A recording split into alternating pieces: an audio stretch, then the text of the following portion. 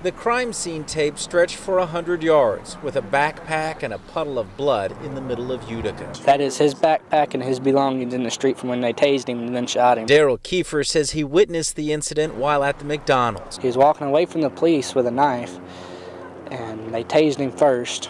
Then another officer shot him three times in the back. One witness has said that he was shot in the back. Do we know where he was shot? At birth, I do not know. Police say the victim was a 58 year old white male.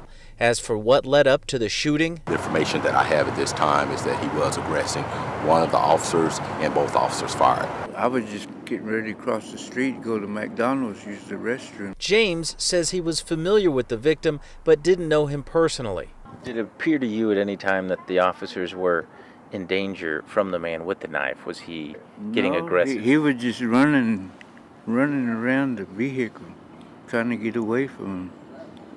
Did he run at the officers with the knife? No, he was trying to run, get away from them. There might be uh, uh, video footage uh, from the officers' uh, in-car camera, but it just depends on which angle. Additionally, an employee of the Sonic is said to have captured the incident on his cell phone and turned it over to authorities.